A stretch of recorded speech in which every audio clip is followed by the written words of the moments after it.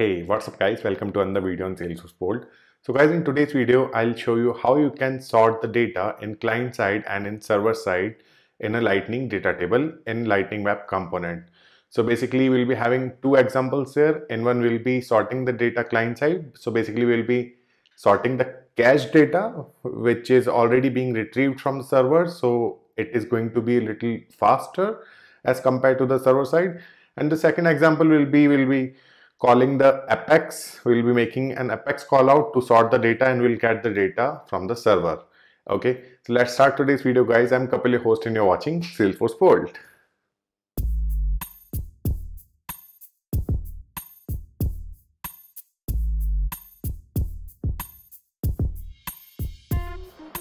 Alright guys, let's start today's video. So as I mentioned, we'll be having two examples today. So for that, I have already created two Lightning uh, web components. Both of them are having data tables with a different kind of sorting. So in the first component, I'm basically doing the client side sort. Okay, so basically we'll be sorting the cached data which is already being retrieved from server. And in the second example, we'll be doing server side uh, sorting. So basically we'll be hitting the server call out uh, at the time of sorting okay so this is going to be a slightly you you may feel a slightly delay in server uh, server callout or server sorting as compared to the client side because in client side we are just we have already retrieved the data and we are just sorting the data. So when uh, you should use the client side sorting and when you should use the server side. So it's completely depend on your requirement. It is completely up to you. But in my suggestion so whenever you have to handle a small amount of data, for example, uh, let's say you have created a dashboard component and you need to place a lightning web component there which will display the latest uh, 20 or maybe 50 records in it. Okay. So in that case you may use the client side sorting because you know like there will be a number of uh, there will be a limited record in this data table so you can easily just fetch them together and uh, do the client side sorting later to just provide the functionality. And uh, for large requests for large data you may use the server side callout okay? So let me show you the output. So guys these are my two components. The first one is having the client side sorting and the second one is having server side sorting okay? And uh, let me tell you in server side sorting also as we are using wired apex so if you are aware about it so wired will be using the reactive parameters. So it will basically uh, so what reactive parameter is basically uh, whenever you will change the value in the reactive parameter it will provide you the latest data stream based on the reactive parameters value okay? So as i said it will provide you. I have not used it will fetch it will get because it is not necessary to hit the server call out each time if you are already having the data. Okay so whenever you will be having the data it will first try to get the data from the cache and it will only hit the server call out if required. Let me show it to you by example. So this is the client side sort. So you just have to click on the sort um, arrow here. And uh, you see it is uh, very fast because everything is happening locally on client side. Okay. Now you will feel slightly delay in sorting while I will be clicking on the server side. So if you just pay attention to the first name I'm going to click it and there could be some uh, I would say a half of second delay in sorting. Sorry. Okay. So mm, see so you may have noticed the delay, but next time when you will click it, you won't be finding that delay because the data is already in our cache memory. And let's say if I try to sort it using last name, so you will feel that delay again because it will change the SOQL basically. So you see the uh, uh, maybe a second delay, but now the delay will not be here okay so that's how basically server side sorting works okay now uh, as you have seen I have already created two lightning web components here so I'll be just explaining the code in this example so let me show you the code now Okay, so let's start with the client side one. So this is the client side component. Here I'm just having a very basic, I would say, data lightning data table here in which I have fetched list of contacts and for that I'm using get all contact function. Here I'm just retrieving first name, last name, title, phone and email. And I'm just retrieving 10 records here because as I have already mentioned like you should only use it if you have to play with a limited number of records okay? So this will be the apex function for it.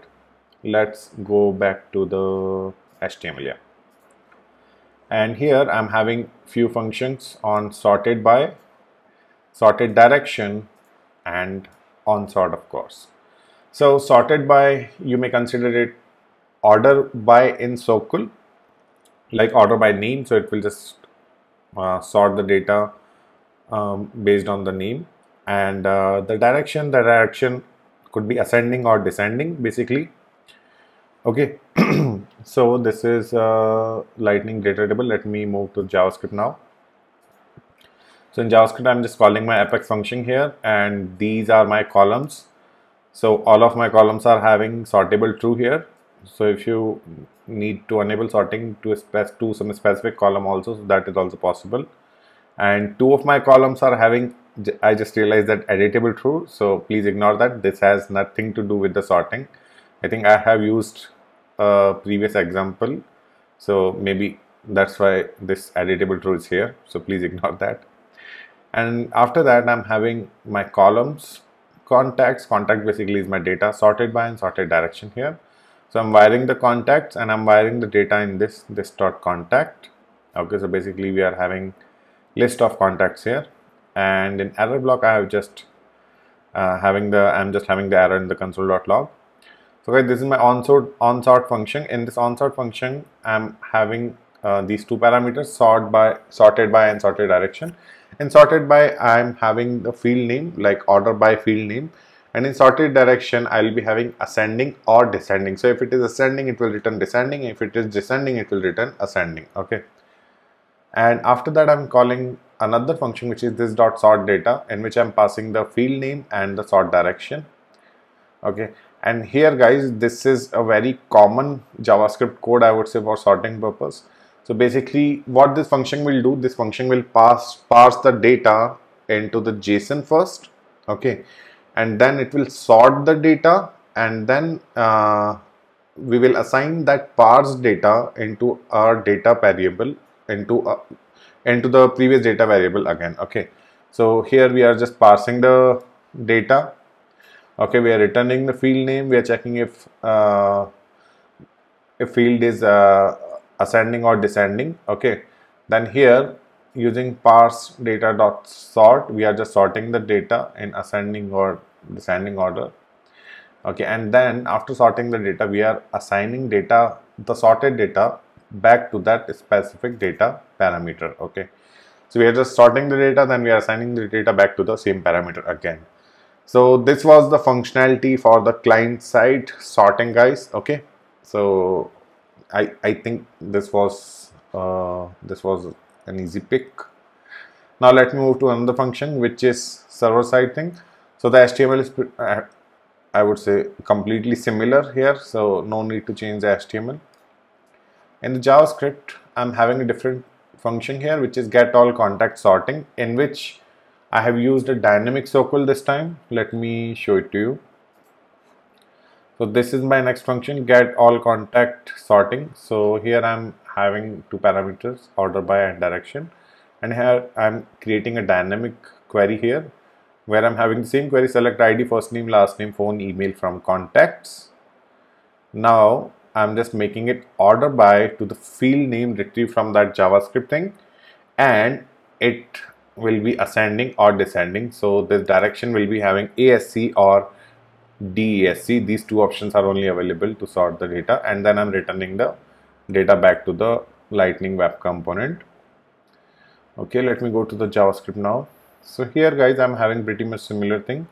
I'm just wiring the data but uh, while wiring it I'm just passing sorted by and sorted direction and if you'll notice guys as we are using the reactive parameters so that's why the parameters need to be with the dollar sign. And reactive parameter will provide you the data uh, based on the value on the reactive, para reactive parameter. So it is not necessary guys like it, it is not going to fetch or get the data each time you change the value okay? Because if data is available in the cache already so it will just retrieve that data only. I mean we won't be making any server call out in that case so I'm just passing two parameters and based on those two parameters I'm just getting the list of contacts back. And we are having the same on sort function here where we are assigning the field name in sorted by and uh, direction ascending or descending in sorted direction. And one more thing guys you have to assign default values here. So the sorted by in which i'm having the field name so i have assigned the default field name because in wired we will be sending these parameters. So i have assigned the default field name as first name and the sorted direction in uh, ascending or maybe you may choose descending. So it's completely up to your requirement guys. Okay. So that it is for today guys. So uh, i hope uh, uh, you I, I hope you will be able to use the client side and server side in some live scenarios as well. Okay. So that's it for today guys. If you like today's video uh, subscribe to the channel. Will be awesome i'll see you in the next one guys. Thanks for watching